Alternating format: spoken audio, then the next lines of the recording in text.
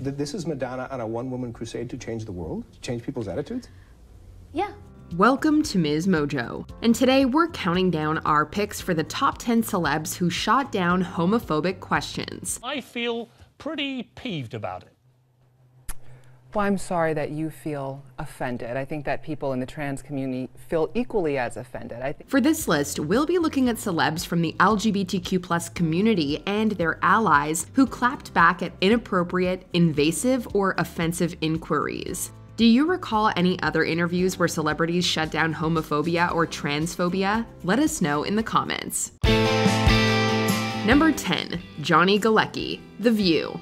Rumors regarding the Big Bang Theory actor's sexuality have always been rife. However, he never really addressed them. Now that we know you're not gay, can you tell us if you have a girlfriend? Galecki initially looks confused when the hosts absent mindedly throw his sexuality and relationship status into the conversation. He explains that since there's not much bad press on him out there, people need to make up stories. Galecki added that he has no reason or desire to respond to those whispers. Because I always figured why defend yourself against something that's not offensive? So, in hindsight, host Whoopi Goldberg notes the ridiculousness of the conversation, but it's too late. It's already out there. I should have looked at it before I said it. But was like Maybe. now that, oh man, okay, okay. Sorry about that. Kudos to Galecki for giving such a classy and respectful response.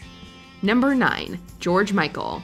The late great George Michael was a huge advocate for LGBTQ rights and unapologetic about his sexuality. I have no problem with people knowing that I, uh, I have a rela- I'm in a relationship with a man right now. I have not been in a relationship with a woman for almost 10 years. He used his platform to campaign for causes close to his heart, such as HIV AIDS awareness. Society and Michael's career kept him in the closet for years until an incident in 1998 led to his arrest and forced him to come out. In subsequent years, he criticized mainstream media for trying to box the LGBTQ community into, quote, doing what makes straight people comfortable. I was just so indignant at the way I'd been treated until then. I was just thought, well, I'll just hold on to this. I don't think they need to know. I don't think I should have to tell them. He also blasted homophobes in many an interview. Michael was never interested in their views or perceptions of him beyond his music. He also declared that he has, quote, nothing to apologize for. The main uh, thing I like to express is that I don't think it's anybody's business. Too right, George Michael, too right. Number 8, Tom Hardy. Tom Hardy's a talented actor who's given us gripping performances in movies like Locke, Mad Max, and The Drop. However, a reporter from Daily Xtra wasn't interested in any of that. Your own sexuality seems a bit more ambiguous. Do you find it hard for celebrities to talk to their sex to talk to media about their sexuality? What on earth are you on about? During a press conference promoting Hardy's legend at the Toronto International Film Festival, a correspondent tried to get Hardy to speak about his personal life. The actor eloquently and calmly called out the invasive question and quickly shut it down. Are you asking me about my sexuality? Um, sure. Why? Why? Um, Thank you. Okay. He later explained that he isn't obliged to answer personal queries and called the question, quote, inelegant and humiliating and, quote, quite rude. What's baffling is that it came from an LGBTQ plus publication. You would think they'd understand how personal sexuality can be. In any case, Hardy's well mannered and even tempered response was perfect. Yeah, you're not laughing now, yeah. Number 7. Paul McCartney, The Tomorrow Show. When you have a musical legend as major as a former Beatle on your show, we imagine you'd have a lot of questions. Asking how rock star bachelor life compares to marriage probably shouldn't even break the top 100, but McCartney rolls with it. When you're that age, that's the kind of thing to do. I mean, what you're doing is you're going around and you're basically looking for girls or whatever turns you on and stuff. While his response is very nonchalant, the host seems thrown by the idea that the world isn't entirely heterosexual. What, what, what, could you give me the alternatives to girls? Are there others? yes, boys. Oh. McCartney's dry retort and his wife's bemused expression tell us what they think about the boneheaded question. The singer can't help getting in one final jibe at the presenter before moving the conversation forward. So we're very free thinking these days, Tom. While Snyder's inquiry was bad, the McCartney's response only makes us love them more. Number 6, Lady Gaga, 60 Minutes Overtime. Remember when the media and public obsessed over Lady Gaga's genitalia? Well, one person who had no intention of jumping on that bandwagon was the Born This Way singer herself. There was that rumor where that, that you had a male appendage, that you were a hermaphrodite, and you, you joked about it on the stage last night. Maybe I do. But, but it's interesting. Would it be so terrible? She was usually known to crack jokes about these baseless claims with her fans during concerts, and she had the best response to these rumors when she was asked about them during a 60 Minutes overtime interview with Anderson Cooper.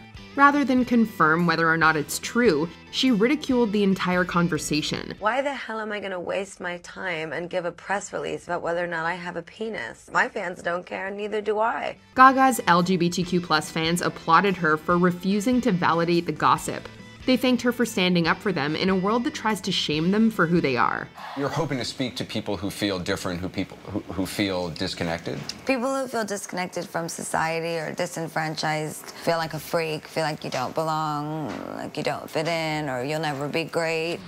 Number five, Janet Mock, Piers Morgan Live. In 2014, transgender activist and actress Janet Mock appeared on Piers Morgan's show to promote her book, Redefining Realness. However, the presenter seemed more interested in discussing her transition. In 2009, you meet a man and you fall in love with this man, but there's something you have to tell him.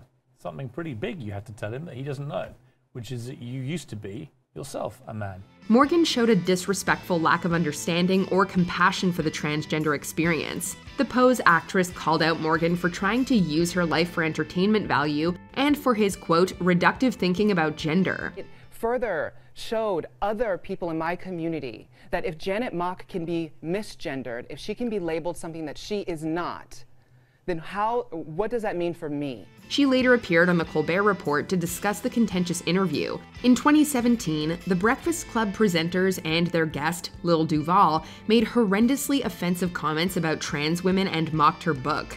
This prompted Mock to write a powerful essay for Allure. She'd had enough of the ignorance and implored people to educate themselves. Does it ever make you feel like, I don't gotta make you understand most most in my everyday life that's how i feel but the work that i'm committed mm-hmm. to doing is having these difficult conversations but i want to number four melissa etheridge the view while appearing on The View, the singer songwriter expressed her disappointment over Proposition 8, which invalidated same sex marriages in California. To actually see human rights be up for a vote mm-hmm. in this Proposition 8 and, and to, for, to have people vote to take away rights is, to me, at the core, is very un American. She politely called out The View co host Elisabeth Hasselbeck for misleading viewers on the matter in a previous episode. After a mildly heated debate over marriage equality, Etheridge point blankly asked Hasselbeck whether she was a supporter of same sex marriage. The presenter refused to answer the question and simply repeated that Prop 8 wasn't personal to her. For me, it's just a legal issue. I think that it should come from the people. I don't think activist judges should be deciding what's right for the rest of the country. Okay. We admire Etheridge's ability to stay cool, calm, and collected in this tense situation. The debate ended with Sherri Shepherd sending the singer to perform her song and suggesting they continue the discussion at a later date. Thomas Jefferson wrote a paper on the, the rights of the minority should never be voted on by the direct democracy, by the, the majority. That should never happen. Number three, Madonna. Madonna is arguably one of the LGBTQ plus community's biggest allies. In 1991, while promoting her Truth or Dare documentary, the singer was questioned about her openness to sex and sexuality. She said that the lack of conversation surrounding these subjects contributed to some of society's biggest problems. If it provo- provokes an open discussion about sex, with their parents, I think this is a really good thing. Madonna hoped her actions and the dialogue they created would better educate young people and help them become more accepting of others. The Vogue singer also called out the hypocrisy over the double standards in American media. We already have these videos that display degradation to women and violence that are played 24 hours a day, but yet they don't want to have a video playing that deals with sex between two consenting adults. In another interview, when challenged over how her documentary could offend homophobes, Madonna made it very clear that she could not care less. Your fans will love the film, I think, but some people are going to find sections of it offensive. Well, that's their problem, though. You, you don't if care? They're, No, of course not. Number 2. Ricky Martin. In 2010, Ricky Martin decided to live life as an out and proud gay man. But the Livin' La Vida Loca singer often found his sexuality at the center of the rumor mill before this point. In 2000, journalist Barbara Walters tried to push a visibly uncomfortable Martin to address his sexuality in a televised interview. You know, you could stop these rumors. You could say, as many artists have, yes, I am gay. Or you could say, no, I'm not.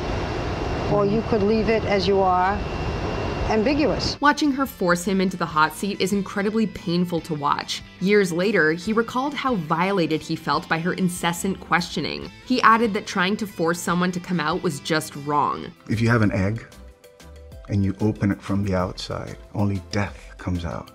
But if the egg opens up from the inside, life comes out. So be careful. In 2006, Walters acknowledged that her invasive questions were out of line. Unless someone is openly gay and happy to talk about it, it's nobody's business, including mine. Before we unveil our number one pick, here are a few honorable mentions. Ariana Grande, Power 106 FM. Grande also had to shut down sexist comments during this very same interview. The, the champagne bottle's so Yeah. cute too. I love the champagne bottle. The unicorn's great, obviously, of course. Girls. Um, yeah, boys. Many boys use the unicorn. Well, boys. You need a little brushing up on equality over here. Mariah Carey, Total Request Live. Go Mariah. Don't let Carson Daly or anyone else tell what people can or can't wear. We might do a clothing line or something. You're right. So perhaps like this could be the start of it. That, Is of it- course, would be the girls' division of our clothing line. Well, a guy could wear this. What's wrong with a guy wearing this? Sure, sure, sure. Ellen DeGeneres, The Howard Stern Show. DeGeneres called out Caitlyn Jenner's struggles with marriage equality. I don't fully understand Uh, eh, all of that, but I want her to be happy, which is what I want for her, for me. You know what I mean? Yeah, I- it just it doesn't make sense that Yeah. someone wouldn't even understand that. I, Yeah. Before we continue, be sure to subscribe to our channel and ring the bell to get notified about our latest videos. You have the option to be notified for occasional videos or all of them. If you're on your phone, make sure you go into your settings and switch on notifications. Number 1. Laverne Cox. Katie. This actress and LGBTQ activist is a fierce advocate for transgender equality and visibility. Cox never shies away from educating on transgender issues and has no problem putting people in their place when necessary. My transition was about me existing in public space and thriving in society. And because I was able to do that, I've been able to thrive. That's all we want. On one occasion, she politely explained to Wendy Williams what it means to be transgender while refusing to engage in conversation about her breasts. Cox also clapped back at Travis Weber when he insisted that trans women shouldn't be allowed to use female bathrooms. I think it's important when we have conversations with and about transgender people that, that we do not reduce us to body parts. We are more than the sum of our parts. However, the most famous occasion might be when she overheard Katie Couric asking model Carmen Carrera inappropriate and uncomfortable questions about her physical appearance. Cox stepped in and respectfully explained why questions like these are problematic. The preoccupation with transition and with surgery objectifies trans people, and then we don't get to really, really deal with the real lived experiences, the reality of, of trans people's lives. Do you agree with our picks? Check out this other recent clip from Ms. Mojo and be sure to subscribe and ring the bell to be notified about our latest videos.